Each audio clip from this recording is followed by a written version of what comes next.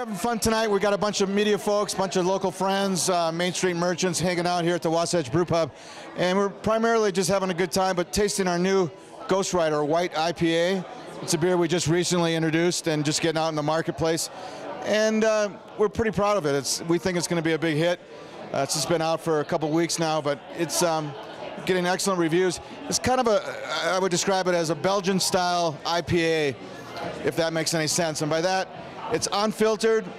It um, we use an ale yeast. We don't use a Belgian yeast, but it has some coriander and it has a white effervescence and uh, a lot of um, citrus notes. So um, we think it's a unique IPA. A lot of the IPAs that are coming out uh, are just bigger and bigger hop bombs, which is cool.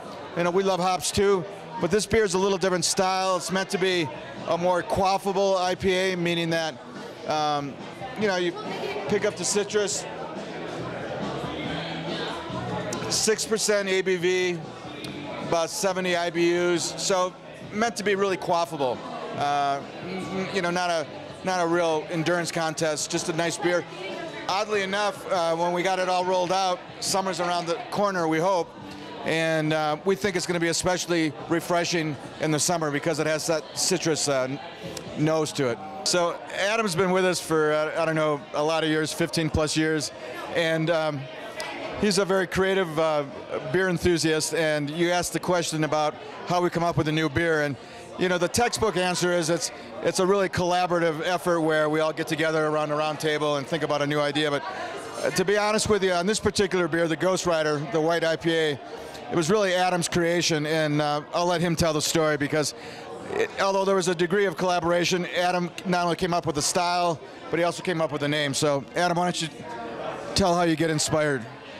Um, really, I, I, woke up in the middle of the night with an idea for this beer. Um, it was it was almost shocking. I like sat up in bed and I was like, Ghost Rider, White IPA, I've got it. You know, it was just like, I don't I, I don't know really where it came from, but I laid back down thinking, I've got to remember this, I've got to remember this. So the first thing I did when I woke up in the morning was tell my girlfriend I came up with a new beer. And then the next thing I did was walk into Greg's office and say, Greg, I've got it. and everything kind of fell into line after that. Adam, uh, once you came up with a name, how did we come up with the graphics? So I kind of I had an idea for the graphics, and it was uh, you know this idea to have this dead horse and a dead rider on a dead horse, and I talked to our to Steve Kessler, who is a guy that does a lot of our graphic design, who happens to be my brother-in-law actually, um, but he's insanely talented. And he initially was going to farm it out to another artist, but that artist ended up being busy. So Steve and I sat down and you know, he kind of got a vibe off of what I wanted and just ran with it and made it look like that. And really, right out of the gate, just nailed it, I, I think. And then we had, you know, we love the name, we love the whole Western feel and kind of the the fun aspect. But we were a little concerned about maybe the potential trademark infringements.